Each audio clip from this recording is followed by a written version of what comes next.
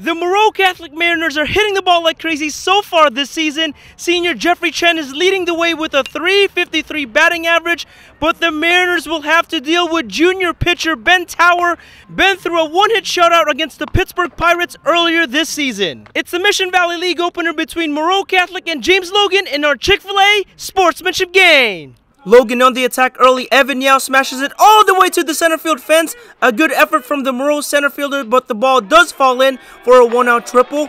Then Trevian Martinez grounds one to short.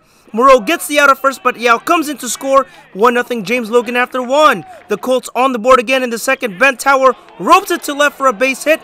Westley Vegas scores and it's 2-0 James Logan. The Mariners looking to get the run back in the bottom half, but Martinez fires a strike to Yash Gupta to nab the runner at second. Still 2-0 Colts after two. Top three now, and Martinez crushes it off the green ivy in center field for a triple.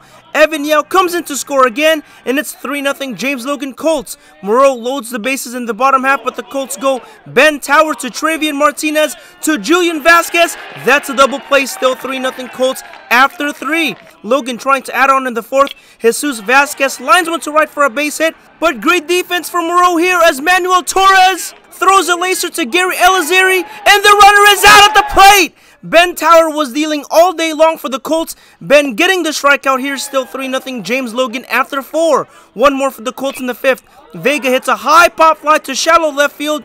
That falls in for a base hit as Martinez crosses the plate 4 0 Colts.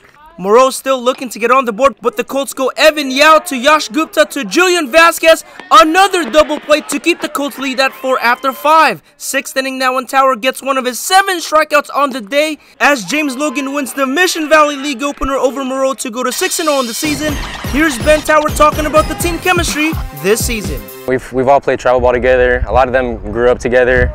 I'm, I've came around in the past couple years, but I think we all just like being around each other, like being teammates. In Hayward with the Chick fil A sportsmanship game, I'm Adrian Soriano, 49ers Cal-Hi Sports.